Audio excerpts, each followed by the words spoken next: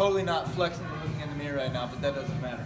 We're gonna go over tricep push downs, okay? So a lot of common mistakes that I see.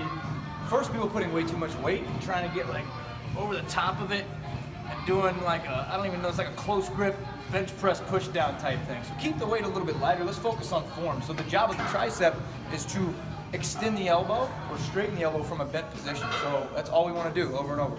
Bend it, straighten it, bend it, straighten it. Okay, so what we want to do with the rope, since is the most popular attachment, let's bring some tension into the cable, lock the elbows at the side, arm starts at a flexed position, keep the elbow where it is, straighten all the way down to the bottom, and return to the top, okay? We don't need to be way out here. That's not wrong, it's just a different approach. So let's keep it simple. Elbow at the sides, arm bent, arm straight at the bottom. Simple as that. Gem on.